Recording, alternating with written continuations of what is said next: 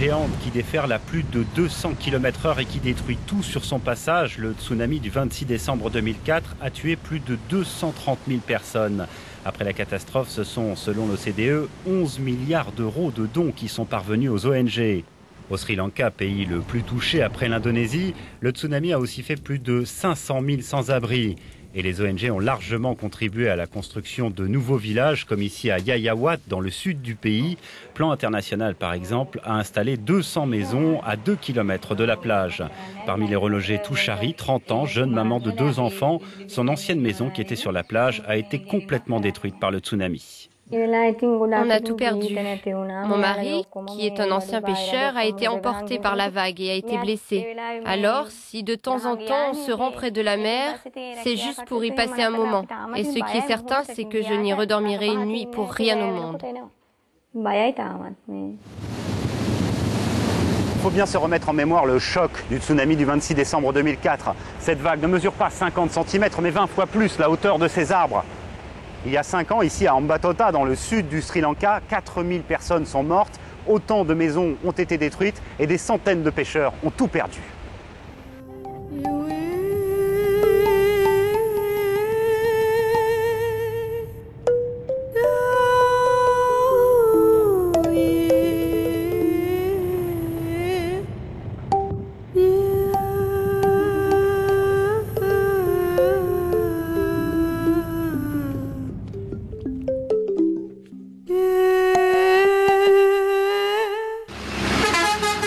Le jeune époux de Touchari, l'habitante de Yayawat, s'appelle Asanka. Il était pêcheur avant la catastrophe.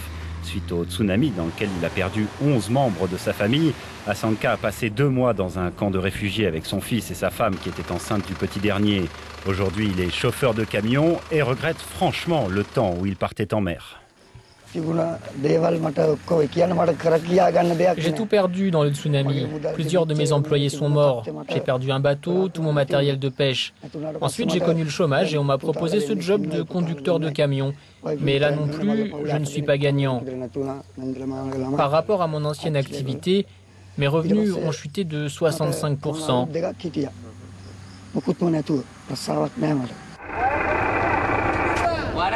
Le tsunami a emporté les bateaux et le matériel des trois quarts des pêcheurs sri-lankais. À quelques kilomètres de Yayawat, dans la petite communauté de Kudavela, Dayaratna et ses collègues n'ont pas baissé les bras et cela leur a plutôt réussi. Depuis le tsunami, on pêche beaucoup plus.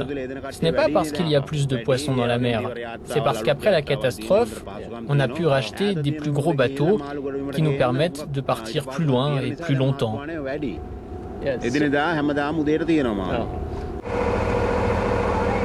95% des pêcheurs de Kudavela ont repris le travail après le tsunami, grâce notamment aux ONG qui ont injecté des fonds dans des systèmes de microcrédit. La petite banque communautaire qui gère la coopérative de Kudavela bénéficie par exemple d'un budget de l'équivalent de presque 50 000 euros par an. Les crédits sont accordés pour acheter du matériel de pêche, un bateau, mais aussi pour construire ou rénover une maison, ou louer un véhicule pour le transport du poisson.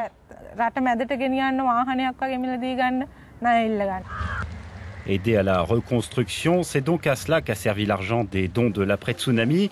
L'ONG Plan, qui est spécialisée dans le parrainage d'enfants, est même allé beaucoup plus loin, en passant par exemple un pacte avec les autorités locales pour assurer la protection des femmes et des enfants qui vivent dans le nouveau village de Yayawat. Pour éviter tout problème à Yayawat, on a mis en place un bureau spécial de la police locale dont la mission va être de faire exclusivement de la prévention contre les violences faites aux enfants et aux femmes. C'est très important dans un nouvel environnement comme celui-ci de faire de la prévention. Lever des couleurs et séance de méditation rituel du matin à l'école Rouounou, tout près de Yayawat. Le tsunami avait privé 200 000 petits Sri Lankais de leur place à l'école.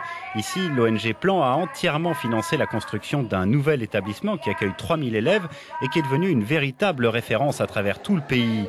L'un de ces jeunes est même sorti premier de l'examen national de fin de primaire l'an passé. Il y a de très bons professeurs de sciences ici, et puis les laboratoires sont vraiment très bien équipés, on ne trouve pas ça ailleurs. Le niveau scolaire est beaucoup plus élevé ici. La discipline est très stricte. Et c'est une bonne chose, car nous serons bientôt dans la vie active. Par rapport à mon ancienne école, j'ai plein de nouveaux copains. Grâce à ce nouvel environnement, enfin je peux commencer à oublier le cauchemar que j'ai vécu avec le tsunami. Cela aussi, ça a changé. Trois enfants sur quatre ne savaient pas nager au moment du tsunami. Depuis, Nimal et son équipe de maîtres nageurs ont formé quelques 500 enfants de la région. Avant le tsunami, les gens qui vivaient à côté de la plage ne savaient pas nager et ignoraient complètement les gestes de premier secours. C'est tout cela que nous enseignons à ces jeunes. Et je suis fier de dire que nous avons récemment sauvé deux touristes australiens qui étaient en train de se noyer.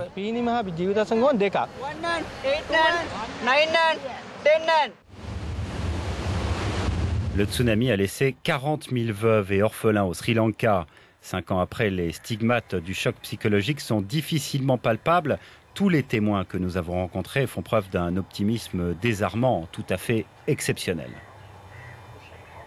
Il faut dire que de très nombreux programmes de soutien psychologique ont été menés, notamment auprès des enfants qui ont beaucoup écrit et beaucoup dessiné après le tsunami.